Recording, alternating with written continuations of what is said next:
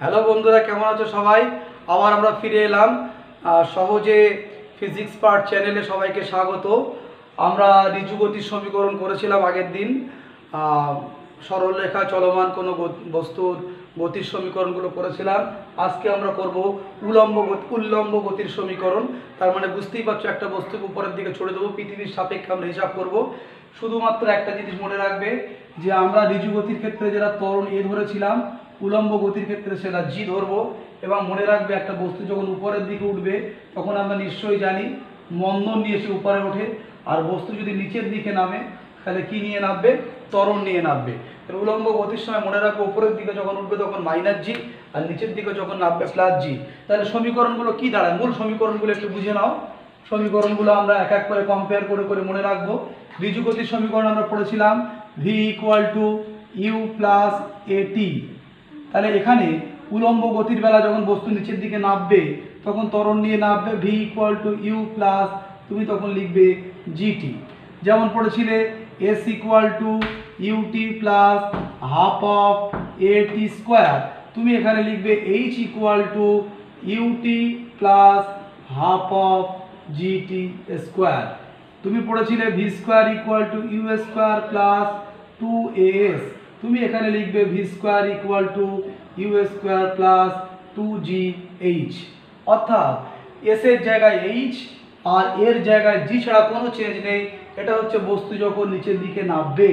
আর বস্তু যদি উপরের দিকে ওঠে, এরকম করে যদি ওঠে, তাহলে জির জায়গাগুলো কি হবে? শুধু জাস্ট মাইনাস হবে। এই হচ্ছে উলম্ব গতির সমীকরণ। এই সমীকরণগুলোর উপর ভিত্তি করে আমরা বেশ কিছু গুরুত্বপূর্ণ সিদ্ধান্ত দেব। সমীকরণগুলো সব ক্লিয়ার এবার দেখো, একটা বস্তুকে যখন আমি উপরের দিকে ছুঁড়ে দিই, ধরা যাক, এইটা হচ্ছে পৃথিবী পৃষ্ঠ, একটা বস্তুকে তুমি উপরের দিকে ছুঁড়ে দিলে, এই বস্তুটাকে উপরের দিকে যখন ছুঁড়ে দিলে, তখন তার বেগ দিলে ইউ, সে কতর উপরে উঠবে? যখন একটা বস্তু ম্যাক্সিমাম উপরে উঠে যায়, তখন তার বেগটা কত হয়ে যায়? উপরে উঠে সে থেমে যায়। মনে করে যে সে এই উচ্চতায় উঠে গেছে। তাহলে সে কতটা উচ্চতা উঠেছে? অর্থাৎ একটা বস্তুকে যখন ইউ বেগে আমি নিচ থেকে উলম্বর দিকে ছুড়ে দিলাম, সে সর্বাধিক কতটা উচ্চতা আরোহণ করবে? সেটা আমরা ক্যালকুলেশন করে বের করি। আমরা formula v square equal to u square minus two g h যখন সর্বাধিক উচ্চতা হবে, তখন এইচটাকে আমরা ক্যাপিটাল এইচ লিখব, আর যখন অল্প যে কোনো মানের উচ্চতা হবে, তখন এইচটাকে আমরা স্মল এইচ লিখব। তাহলে যখন বস্তু সর্বাধিক উচ্চতা উঠে গেল ভি এর মান তুমি কত লিখবে? জিরো তাহলে zero square equal to u square minus two g h তাহলে এখান থেকে এইচ এর ফর্মুলা তুমি কি পেলে? U square by two g অর্থাৎ একটা বস্তুকে যখন উপরের দিকে তুমি তুলে দেবে, সে সর্বাধিক কতটা উচ্চতা উঠবে? U square by two g প্রশ্ন হলো, এই যে সর্বাধিক উচ্চতায় উঠল এই উঠতে তার কতক্ষণ টাইম লাগল? যদি সময়টা আমরা বের করি, তাহলে আমরা এইভাবে বের করতে পারি v equal to u minus a t সর্বাধিক উচ্চতায় উঠতে যে টাইম লাগবে, সেটাকে আমরা কি লিখব? ক্যাপিটাল টি এই ক্যাপিটাল টির মান ক্যালকুলেশন করব। ভি এর মান জিরো ইউ এর জায়গায় ইউ মাইনাস জি টি তাহলে টির মান তুমি কত পেলে? ইউ বাই জি টির মান কত পেলে? অর্থাৎ সর্বাধিক উচ্চতা উঠতে তার টাইম লাগবে কতটা? ইউ বাই জি ইউটা কি? ইউটা প্রাথমিক বেগ। জিটা কি? অভিকর্ষজ ত্বরণ সর্বাধিক উচ্চতা থেকে মনে করো বস্তুটা পড়ে যাচ্ছে। সেক্ষেত্রে তার কতক্ষণ টাইম লাগবে যদি ক্যালকুলেশন আমরা করি? সেও আমরা করতে পারব। ধরা যাক এই সাইডে উঠেছে, তাহলে এই সাইড থেকেই পড়বে। এই সাইড থেকে যদি পড়ে, তাহলে কতটা পথ পড়বে? এইচ পথ পড়বে। তাহলে এইচ ইকুয়াল টু এখান থেকে পড়ছে, যখন পড়ছে প্রাথমিক বেগ জিরো আমরা জানি, আমরা কোন সমীকরণ ইউজ করছি, দেখো s equal to u t plus half of g t square এই সমীকরণটা আমরা ইউজ করছি এইচ ইকুয়াল টু এইচ থেকেও পড়ছে, অবতরণের সময়কাল। অর্থাৎ যখন ও পড়ছে, তখন মনে করো টাইম লাগবে টি ড্যাশ টি ড্যাশটা কি? পড়ার টাইম টিটা কি? ওঠার টাইম টি ড্যাশ টাইম ধরে সে পড়ছে, তাহলে তার পড়তে কতক্ষণ লাগবে? এসের জায়গায় কি লিখলাম? এইচ উচ্চতায় উঠলে পড়বে কোথার থেকে? এইচ থেকেই পড়বে। তাহলে এস ইকুয়াল টু বা এইচ ইকুয়াল টু যখন এখান থেকে পড়তে শুরু করল, তখন প্রাথমিক বেগ জিরো জিরোর সঙ্গে টি গুণ করলে জিরো তাহলে কি দাঁড়াল? Half of G into T square তাহলে এখান থেকে টি জায়গায় আমরা টি ড্যাশ লিখছি টি ড্যাশ স্কোয়ার তাহলে T dash square equal to two H by G দেখো টু এইচ বাই জি তাহলে এখান থেকে ক্যালকুলেশন করো টু ইন্টু এটাকে লেখো তুমি? টু বাই জি আমরা এইচ এর মানটা জানি, সর্বাধিক উচ্চতায় কতটা ওঠেও U square by two G তাহলে টু টু কেটে গেল, তাহলে থাকছে কত? U square by G square তাহলে এখান থেকে টি ড্যাশের মান কত হবে? রুট ওভার এইটা। রুট ওভার এইটা মানে ইউ বাই জি অর্থাৎ দেখো, উঠতে যতক্ষণ টাইম লাগে নামতেও কি? ততক্ষণ টাইম লাগে, তাহলে একটা বস্তুকে যদি উপরের দিকে থ্রো করে দিই সর্বাধিক উচ্চতা আরোহণের সময়কাল, সর্বাধিক উচ্চতা থেকে অবতরণের সময়কাল কিন্তু সেম তাহলে মোট টাইমটা কত? আরোহণ এবং অবতরণের মোট টাইম হচ্ছে টি প্লাস টি ড্যাশ তার মান হচ্ছে U by G plus U by G মানে আসলে কত হলো? টু ইউ বাই জি এটা আমরা একেবারেও হিসাব করতে পারি। যে ওঠা এবং নামা, সেক্ষেত্রে স্মরণের মান জিরো সেটা যদি আমরা ক্যালকুলেশনে করি, যদি এরকম করে ভেঙে ভেঙে না করি, আমরা একসঙ্গে হিসাবটা করতে পারি সর্বাধিক উচ্চতা আরোহণ এবং অবতরণের মোট সময়কাল কত, তা কিন্তু আমরা এক চান্সে হিসাবও নিতে পারি। কীভাবে নিতে পারি লক্ষ্য করো? বস্তুটা উঠেছে এবং নেমেছে, তাহলে মোট স্মরণ কত?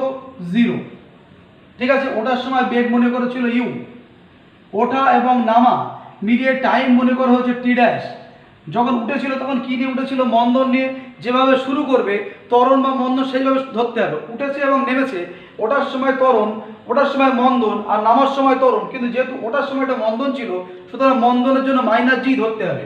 তাহলে minus S equal T UT minus half of G T square বোঝা গেল? এটা কীভাবে করলাম? বোঝা গেল? কারণ আমরা এখানে কিন্তু এস এর মান জিরো লিখলাম কেন? ওঠা এবং নামা। উঠা এবং নামা মিলে তার মোট সরণ জিরো। সেখান থেকে যদি আমরা ক্যালকুলেশন করি, তাহলে U dash U T dash equal to half of G T dash square তাহলে উভয় পক্ষে টি ড্যাশ একটা কেটে যাবে, তাহলে থাকবে U equal to G by two into T dash তাহলে টি ড্যাশ ইকুয়াল টু দেখো টু ইউ বাই জি কত ইজি হয়ে গেল? ওঠা এবং নামার টাইম হচ্ছে টু ইউ বাই জি এর আগে আমরা অন্যভাবে দেখেছি বস্তু যদি যে কোনো হাইটে ওঠে, সেক্ষেত্রে আমরা ফর্মুলা ফেলে করে দেবো। বস্তু যে কোনো জায়গায় বেগ কত হবে? V equal to root over U square minus two G H two G small H ঠিক আছে? এরকম করে আমরা ক্যালকুলেশনগুলো বুঝে নেব। খুব ইজি ক্যালকুলেশান এবং এখানে যে কোনো উচ্চতা ওঠার জন্য আমরা শ্রীধর আচার্যের ফর্মুলা ব্যবহার করেও বিভিন্ন সময় টি এর মান ভি এর মান আমরা ক্যালকুলেশন করতে পারি। একটা বস্তু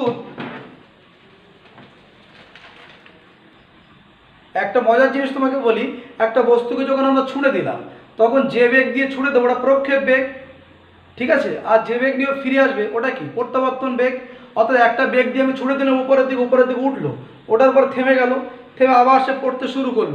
মনে রাখবে, যখন সে পড়তে শুরু করে নিচে মেঝেতে টাচ করবে, তখন যে বেগ দিয়ে ছুঁড়েছিলাম, সেই বেগ দিয়ে ফিরে আসবে। যে বেগ দিয়ে ছুঁড়েছিলাম, সেটা কোন দিকে? ঊর্ধ্বমুখী।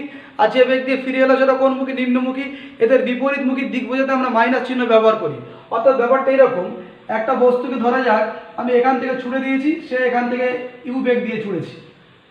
এবং ও আবার ফিরে এসছে। ফিরে আসার সময় তার বেগ হচ্ছে ভি দেখা যায় ক্যালকুলেশন করে V equal to minus U হয়। অর্থাৎ প্রক্ষেপ বেগ এবং প্রত্যাবর্তন বেগ সেম হয় পরীক্ষার পরে।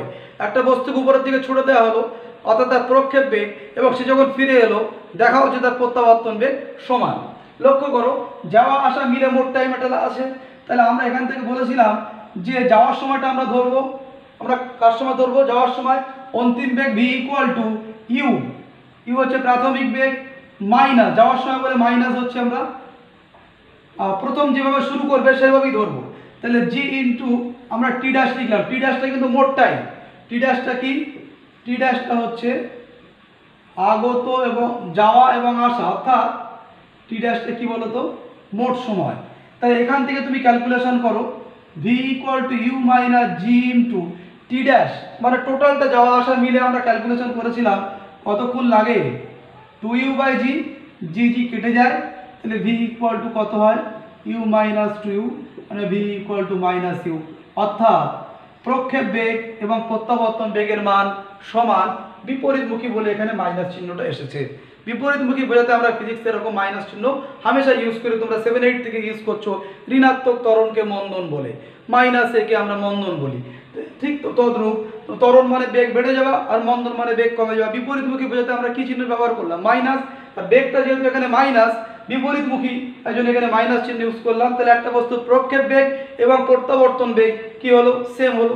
তাহলে উলম্ব গতির সমীকরণ থেকে আমরা একটা বস্তুর প্রক্ষেপ বেগ প্রত্যাবর্তন বেগ, একটা বস্তু যে বেগ দিয়ে ছোড়া হলো তার উপরে নির্ভর করে বস্তুটা কতটা উঠবে এই বস্তুটাকে যদি আমরা এরকম করে বেগ দিলে মাত্রা উঠল, যদি একটু জোরে বেগ দিই, আর বেশি উঠল। তাহলে প্রক্ষেপ বেগ এর উপর ডিপেন্ড করছে বস্তুটা কতটা উচ্চতা উঠবে। আমরা এইচ এর ফর্মুলা বের করেছি, সর্বাধিক উচ্চতা আরোহণের সময়কাল, সর্বাধিক সর্বাধিক উচ্চতা থেকে অবতরণের সময়কাল সমান, সর্বাধিক কতটা উচ্চতা উঠতে পারে এটা আমরা বের করলাম। আর কি বের করলাম? প্রক্ষেপ বেগ এবং প্রত্যাবর্তন বেগের মান সমান। যে কোনো হাইটে যদি বের করতে হয়, সেও আমরা বের করতে পারব। সেক্ষেত্রে এইচ ইকুয়াল টু আমরা কি লিখব? UT minus half of GT square এখান থেকে আমরা টি এর দ্বিঘাত সমীকরণ করতে পারি। শীতল আচার্য ব্যবহার করলে আমরা যে কোনো টি এর মান কতক্ষণ, যে কোনো মুহূর্তে একটা টাইম আমরা হিসাব করতে পারি। শীতল আচার্য এখান থেকে আমরা করতে পারি অবশ্যই। Half of GT square minus UT plus H equal to zero এখান থেকে আমরা টি ক্যালকুলেশন করতে পারি না। T equal to minus B plus minus root over B square minus four AC by two A calculation করলে আমরা small tea এর মান আরামসে পেয়ে যাব। এই হচ্ছে উলম্ব গতির সমীকরণ। অর্থাৎ একমাত্রিক গতি চ্যাপ্টারে যে সমীকরণগুলো আছে, সেই সমীকরণগুলোকেই আমরা এগুলোকে ট্রান্সফার করে দিলাম জিতে তাহলে হয়ে গেল উলম্ব গতির সমীকরণ। এইটুকু পড়াতে বাকি ছিল তোমাদের একমাত্রিক গতিতে।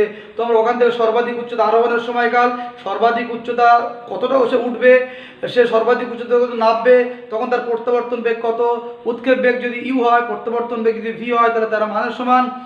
দিকটা তাদের বিপরীতমুখী। এই ক্যালকুলেশনগুলো করবে এর উপর ছোটো ছোটো অঙ্ক তোমাদের পরীক্ষায় পড়ে।